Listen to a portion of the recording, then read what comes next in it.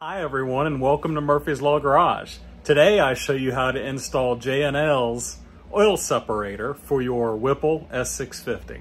Come along.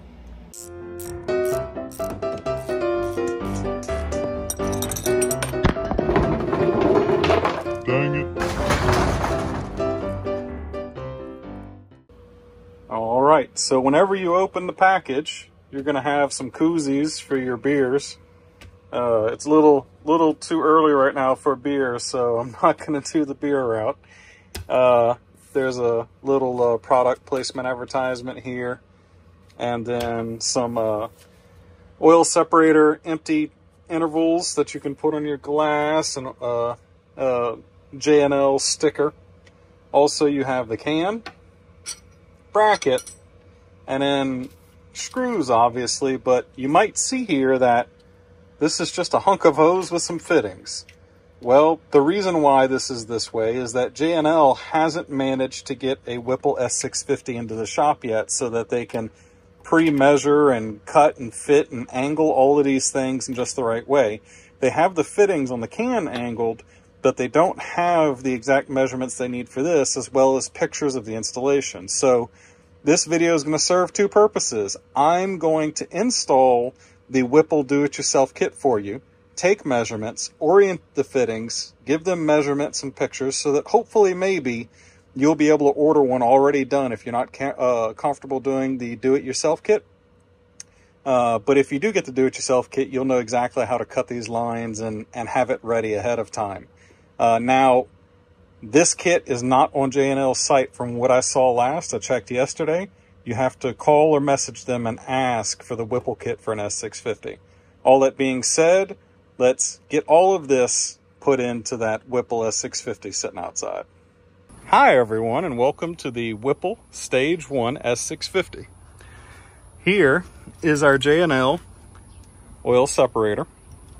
Now, you can see I've got the aluminum bracket mounted onto it. There's two Phillips machine screws that come with and I've got them loose right now. Orients just like this. The area we're going to be working in today is here on the passenger side of the motor. And that bracket is going to end up being bolted right here where this ground is uh, bolted to the strut tower. The oil separator will end up sitting on here just like this.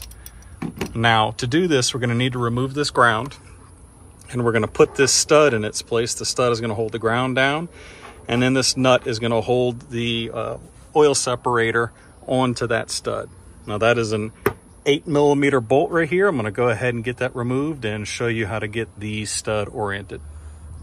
All right, so with that bolt out, you're going to see we've got the exposed hole here. And here is the stud that will now go into this hole. I'm going to go ahead and thread that in. Just like that.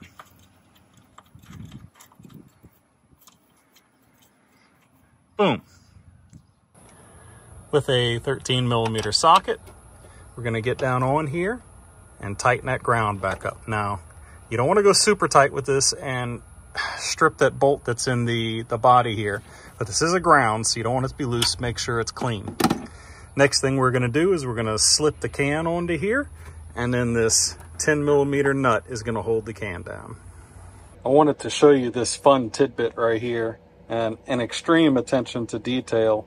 You can see J&L's got their logo here on top of the oil separator. And they also put it on top of the bracket because, well, the bracket covers the logo. So I think that's really awesome. Anyways, I'm gonna go ahead and get these screws tightened up. All right, and just like that, the oil separator is now on its stud with that 10 millimeter nut. Now I have closed the hood to ensure that I've got good clearance here to ensure that that's a good mounting height with it sitting on top of the stud. Also, you can see here what I, like I've told you, you, I've got it snug but not tight so I can orient it. And if you look right here, You've only got so much room to the relay box, as well as that fitting right here, the uh, that connector right there next to the bottom of the removable part of the separator. So you want to make sure you kind of get yourself right in that valley. And the next thing I'm going to do is I'm going to bring my lines and fittings in. Uh, we can go ahead and pop this guy off, which should just be squeeze and pull. And this one's going to be much more difficult to get to because it's under the cooler lines. But squeeze and pull. Okay. With this one off, we're going to route the lines. The first line is going to leave this side of the uh, separator and go to the valve cover. All right, so first thing I'm gonna do is pre-fit my fittings so I can measure out my lines. The 45 degree fitting goes here on the blower first. And then secondly, the 90 degree fitting goes right here under these hoses. See if I can get that on with y'all on camera. Now, if you're watching this and you want to know how long to cut these lines, you don't need to watch me measure this unless you want to do your own custom thing. Just skip ahead a bit and I'll tell you what the measurements are. All right, so first run, I'm going to jump from the fitting on the valve cover up to the can. Um, now, oil separator, but the, the physical can unit here. So you can see I've got a razor blade stuck in it just so that I could more precisely measure this. I've got this fitting here on the valve cover turned up very slightly so that is a very smooth entry into this. So I'm gonna go ahead and cut this hose and then we're going to make up the next one and we'll go inside and take some measurements on these. All right, so this next choice is part of my OCD, okay? See I've got my hose set up right here. I've passed the line under the cooler lines and then routed up to the oil separator. Now, the reason why I chose to do this is if you pass this line above, it goes right over the oil filler, and then you're in a situation where you might have to use uh, zip ties and, and this and that to try to uh, get it in a nice straight line or disguise it and I don't think that looks very attractive. I don't think the the uh, the people of J&L would think that's very attractive either. It makes more sense to me to route under the heat exchanger cooler lines. I'm really OCD about the appearance of things like this. So the reason why these are very tight and I'm having to squeeze that fitting underneath them is I've got them very neatly uh, clamped to each other down there whenever I did the install so they stay really pretty and parallel in just the right place. So I'm going to sneak the the line for the oil separator underneath it. Let me go ahead and get this one cut through and go make up these lines. All right, everyone. Welcome. You may hear the AC running, but it's South Louisiana and very hot. So I want to say bravo to J&L. They are using these Gates uh, fuel lines here. This is really, really, really high quality stuff that I use on a lot of the uh, swaps and engine builds and other projects that I work on. I always go out of my way to get this. It is much more expensive than standard hose or fuel line, but it lasts forever. It always stays super soft and pliable and even when it gets cracks, if it's been sitting out in the sun, they don't burst, not easily anyways. All right, so what I have here is the measurement for the short and the long hose. J and L, if you're watching or if my viewers are watching and you're trying to put one of these on your car and you got the do-it-yourselfer, the shorter hose that goes to the valve cover is seven and three quarter inches. The longer hose that goes to the Whipple intake is 17 and one half inches as measured by my piece of tape. Anyways, the next thing we're going to do is go ahead and assemble these lines here on the bench where this is much easier to do rather than outside in the heat and bent over. So if you're unfamiliar with these sorts of connections, this is kind of like a the protective cleanup grommet that goes on the end of it and makes it look prettier. Um, a lot of times you'll see this done with like a heat shrink material or something like that, but this is what you'll see if it's a do-it-yourself type situation for you to put these together. The easiest way that I've found to put these sorts of things together is to slip these on. The first thing we're going to do though is I'm going to grab some oil here. Uh, any oil will do, something nice and light. And I'm going to lubricate the barbs on both sides, just like that. And then I'm going to push the covers onto the barbs, just like that. Let grab a rag. Once the covers are, are gone, clean up after yourself, have some pride in our work here. Next thing we're going to do is put the short hose on this side. Remember that runs off to the valve cover.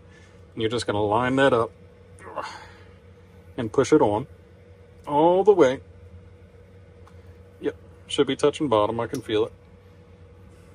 And I'm going to twist it because it's got a natural bend in it to face more towards the valve cover, kind of like that. And I'm going to do the same here as well with the long side that goes to the supercharger. That lined up, that pushed on, all the way, click. And they both have that natural uh, bend towards the direction that they need to run. So I'm going to repeat this process. Remember the uh, fitting that goes onto the valve cover is our 90 degree fitting here. And I can already tell just looking at it that the orientation of this needs to be something about like that. Um, with all of that being said though, uh, this will be able to twist in here. So I'm not super duper worried about its ability to move. I've already got me some pre-applied lube here on the counter. So let me uh, grab some off of my workbench. Clean my finger off. Push this guy all the way down. And then I'm going to grab the hose, get it lined up on there, and sink it all the way in. And you can squeeze the end here and see if you're not all the way down. Takes a bit of pressure, but you can get it all the way on there. You see how I've got that that that angle on it right here that should meet up perfectly with the valve cover. Now, this one, the supercharger inlet is going to face more like this direction. Remember the, the uh, oil separator sits like this. This is going to loop under those lines. It needs to face more this way. So again, I've got some pre-applied lube here to my workbench. And I am going to lubricate these hose barbs. Clean my fingers so I don't make a mess push on this shroud, the cleanup piece. And then knowing that I need to start facing this direction, I'm gonna push it on facing that direction. Check it a little bit more. And there we go. This, my friends, is a catch can oil separator ready to go onto the car. Now you're gonna hear me accidentally mix the word catch can and oil separator. Those are two functionally very different things. This is a air oil separator. Uh, I just say can because it's shaped like a can, but this is a air oil separator. Regardless, let's go get this stuck in the car. All right, so you can see I've got the oil separator back on its stud, still loose so I can wiggle it around. And I've got the line passed underneath right here. And it should push down a little bit like this and follow perfectly parallel with the heat exchanger lines. And you can see here, a little bit of twist and it rolls out ever so perfectly parallel with this line. So that's what I'm gonna do. I'm gonna stick this on here and we're gonna check the angle of these fittings. Let me uh, put the camera down and I'm gonna get this one popped on. You can see it sitting right here. It's gotta go under these lines. All right, so the first route I'm gonna show you, I think this looks perfectly clean. Like I said, it comes up under right here, right? And you can lay the line. You see this stud right here? You don't want this line getting pinned or rubbing against this stud. So the line passes under, around, follows the lines of the, uh, the heat exchanger here. And it's a nice simple layout. Of course, we've got the valve cover tied in right here. And the can, as I explained to you, is sitting in that perfect position where it's missing this connector right here and the lid of the relay box.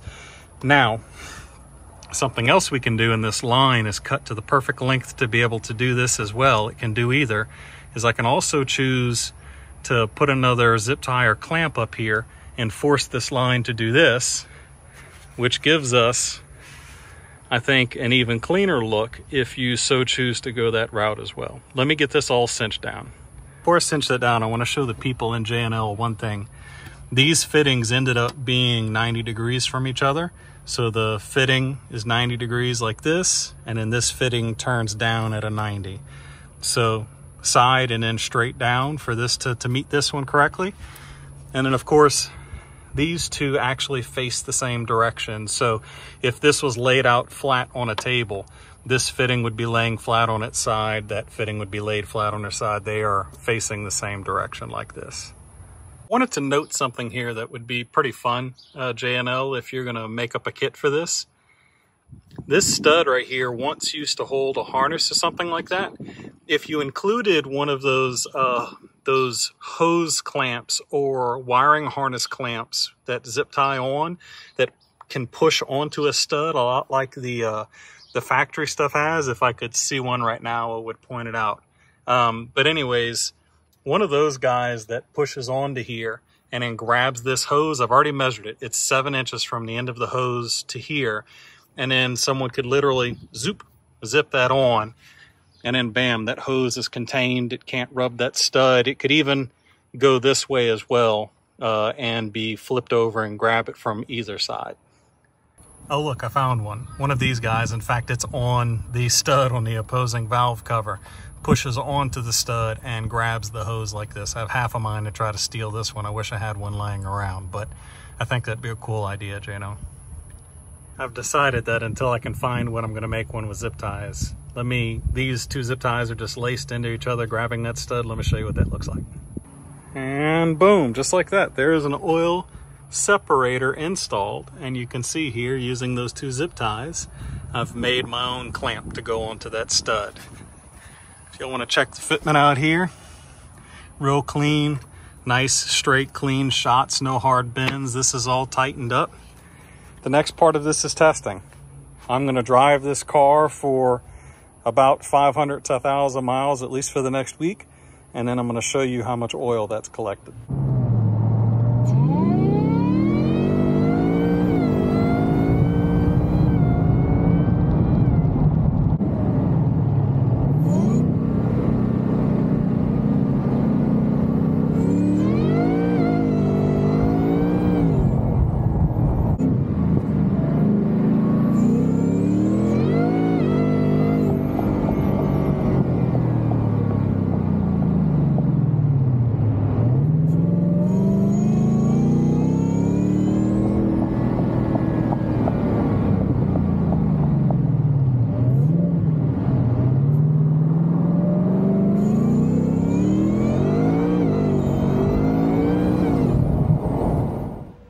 All right, y'all.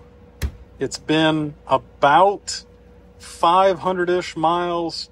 Took a, uh, a long trip to the office, which is about 200 miles away, plus some trips into town away for uh, some car meets and uh, lots of opportunities to put boost through the motor. And I'm glad to report there is oil inside of this can. So let's see exactly how much. There you go. So, J&L's oil separator most definitely does work. Um, let's talk for a second about why this is important for my viewers that are curious. Oil getting into the intake charge is a bad thing for multiple reasons, but there are two really important ones. For a supercharged car, especially, that oil will end up just like it's coating the inside of this can with a film of oil will coat the the rotors of the supercharger the inside of the intake the heads the back of the valves everything and make them all gooey and nasty and they'll collect any dirt that gets in there. Over time the backside of the valves will get uh, dirty and carboned up from this. So that that will lead to inefficiencies and possibly if enough carbon buildup happens because of this detonation in the future as those deposits can actually uh, hold and restrict fuel. They can even glow on the valves and create hot spots. Um, the most the foremost problem is that the oil traveling into the uh, intake air charge as the motor consumes the air, this oil that is suspended as vapor will actually cause detonation or pre-detonation. The the oil reduces the octane of your fuel. So I don't have data on the exact pointage, but if you're running 93, you could be, if enough oil is getting in, you could be effectively reducing your octane rating to a level that would cause your motor to miss and detonate, possibly destroying itself. So for a boosted car especially, NA is NA as well. It's not quite as prevalent in NA, uh, the detonation part. But for a boosted car, detonation, knock, pang, that is huge. And this is not just a maybe I should to keep the motor clean. For a boosted car, something like an oil separator is what stands between you and a blown up motor on a hot day. So I highly recommend you get with J&L, you get you one of these kits ordered, and you get it installed on your boosted Coyote before you blow it up. All right, well, that's the end of the video. Now, the last thing I want to give you is some maintenance tips. People ask, how often should I check the level of the oil inside of this can and empty it? Well, depending on your vehicle, just generally for the first oil change interval, you're probably going to want to check every 500, uh, 500 miles at first to see if it's filling a bunch. That may sound extreme, but some uh, European cars really do move that much oil through a can. In the case of this Mustang, I would check every thousand just to see how quickly you're building. But generally, for most vehicles, it's about half of the manufacturer's uh, recommended oil change interval. Most cars, that's five to 7,000. Um, me personally, I'll check it every uh, 2,000 miles or so. But again, don't let this sit forever and fill up with oil. Check it every for 500 first and every 1,000 miles after that, just to get an idea of how quickly your motor tends to push oil into a can like this anyway, I hope y'all really enjoyed the content. Uh, I love working with the Whipple Supercharged S650 project. Thank you, uh, J&L, for sending out this awesome oil separator. I did not want the competition. I wanted this guy right here, and they weren't ready with the kit yet. And I wasn't ready to drive all the way up to them up north so that they could use my car to measure fittings and take videos and pictures and stuff like that. So here we are. Um, thank you guys for getting this sent out to me. I hope everyone else has a good time putting this on. And as usual, we love you. God bless. Peace.